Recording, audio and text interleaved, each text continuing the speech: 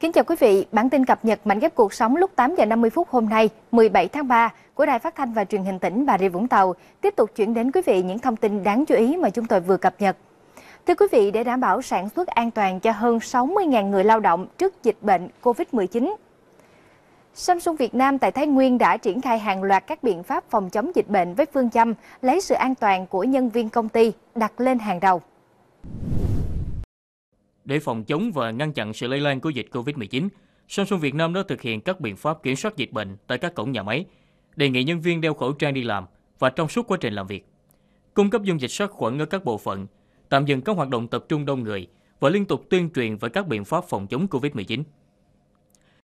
Chúng tôi cũng chủ động đào tạo và hướng dẫn nhân viên các cái dấu hiệu nhận biết về dịch bệnh và hướng dẫn các cái biện pháp phòng chống dịch như là đeo khẩu trang và rửa tay đúng cách. Và quanh nhà máy chúng tôi cũng trang bị rất nhiều các cái dung dịch uh, ờ, sát khuẩn để nhân viên rửa tay. Ngoài ra, chúng tôi cũng tổ chức phun uh, diệt khuẩn các khu vực quan trọng như là căng tin, ký túc xá, nhà vệ sinh, khu vực hành lang, rồi toàn bộ xe buýt. Bên cạnh đó, Samsung Việt Nam đã tiến hành chương trình giải cứu nông sản Việt Nam qua việc tăng định lượng tráng miệng là dưa hấu và thanh long lên gấp đôi so với thông thường. Những nỗ lực này sẽ góp phần trợ giúp và giảm tải phần nào khó khăn của người nông dân. Cao nguyên Mộc Châu, tỉnh Sơn La là một địa điểm du lịch hấp dẫn, có không khí trong lành, mát mẻ, cảnh sắc thiên nhiên hùng vĩ nên luôn thu hút du khách trong và ngoài nước. Hiện đang trong những ngày cao điểm phòng chống dịch Covid-19 nhưng nơi đây vẫn đông du khách, nhất là khách quốc tế. Để chủ động phòng chống dịch bệnh, huyện Mộc Châu đã tập trung tăng cường kiểm soát y tế và giám sát các đoàn khách du lịch quốc tế có nguy cơ nhiễm bệnh cao. Ngay sau khi nắm thông tin có đoàn khách quốc tịch Cộng hòa Séc đến du lịch và nghỉ tại một khách sạn trên địa bàn thị trấn Nông Trường Mộc Châu, tổ công tác của huyện Mộc Châu, tỉnh Sơn La đã nhanh chóng có mặt để giám sát dịch tễ, điều tra thông tin lịch trình di chuyển trong 14 ngày trước đó của đoàn khách đồng thời tiến hành kiểm tra thân nhiệt và tuyên truyền cho du khách các biện pháp phòng dịch cho bản thân và cộng đồng. Việc làm như này của chính quyền huyện Mộc Châu là rất tốt, phòng bệnh corona cho du khách như chúng tôi.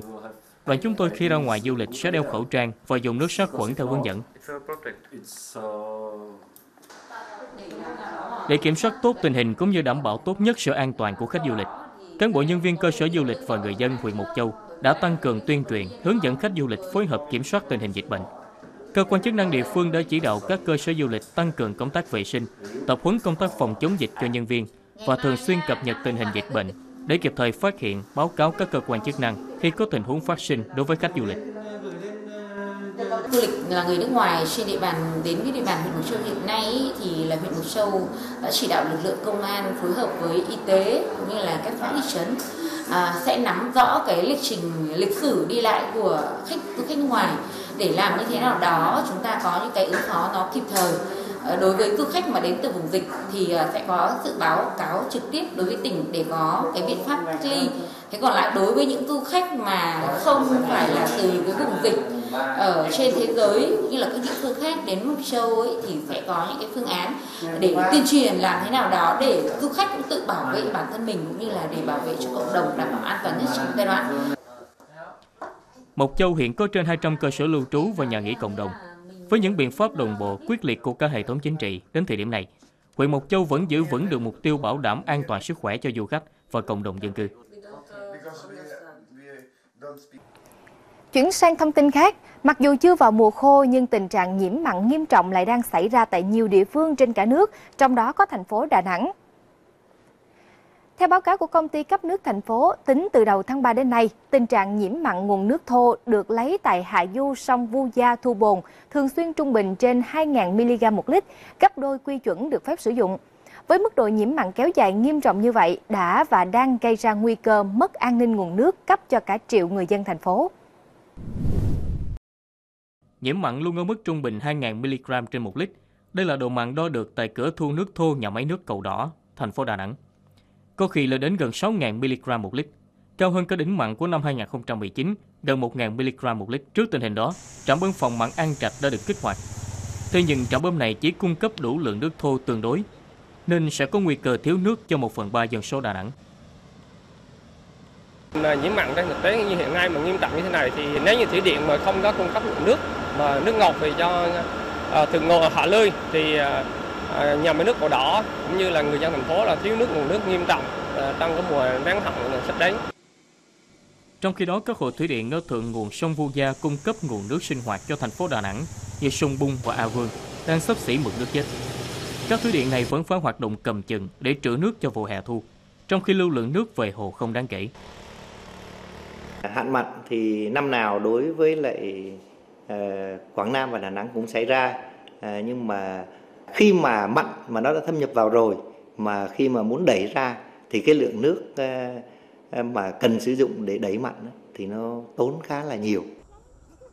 Dù cho một nhánh đập tạm ngăn mặn được xây dựng đầu năm nay đã góp phần giảm nhiễm mặn cho nguồn nước thô của cầu đỏ, nhưng để đảm bảo an ninh nguồn nước sinh hoạt cho cả triệu người dân Đà Nẵng thì vẫn rất cần những giải pháp lâu dài. Nghiên cứu đầu tư xây dựng một cái công trình ngăn mặn Ờ, có tính chất là kiên cố trên sông Cẩm Lệ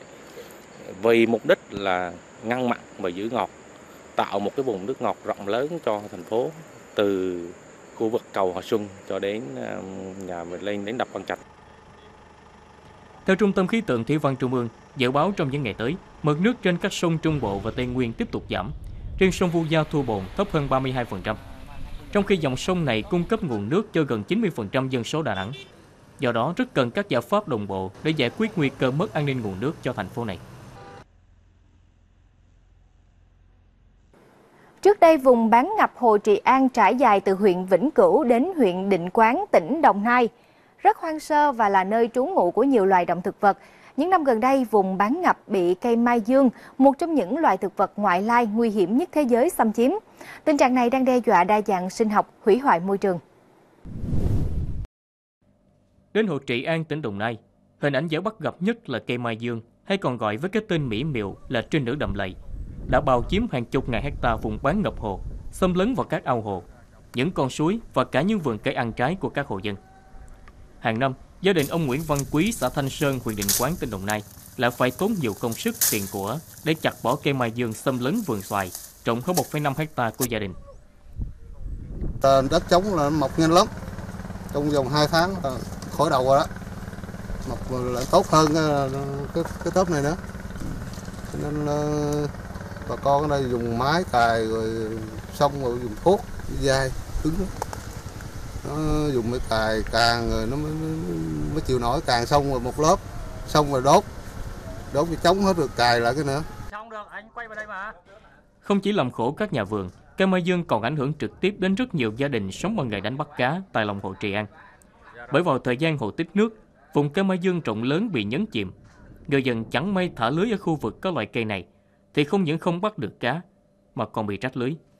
Theo khu bảo tồn thiên nhiên văn hóa Đồng Nai, vùng bán ngập Hồ Trị An là địa bàn lý tưởng cho loài thực vật ngoại lai này tồn tại và phát triển. Thống kê cho thấy, vùng bán ngập Hồ Trị An có diện tích 25.000 ha, trong đó có khoảng 17.000 ha đã bị cây mai dương xâm lấn với mật độ dày đặc.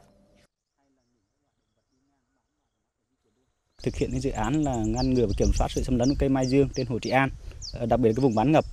Thì hiện nay là đề án thì đang thực hiện và trong giai đoạn là thứ ba. À, trong giai đoạn này thì trong đề án đang thực hiện xây dựng một số cái mô hình là diệt trừ cây mai dương. Thì trong đó có hai mô hình mà đang được tiến hành là trồng cây gáo vàng và thứ hai là sử dụng các cái ờ, cây nông nghiệp ngắn ngày như các loại rau màu như ngô hay là một số cái cây mà có thể là tận thu trong cái thời gian vùng bán ngập để cho người dân à, thực hiện. Việc diệt trừ hẳn cây mai dương là công việc rất khó khăn, nhất là đối với vùng ngập nước như Hồ Trị An.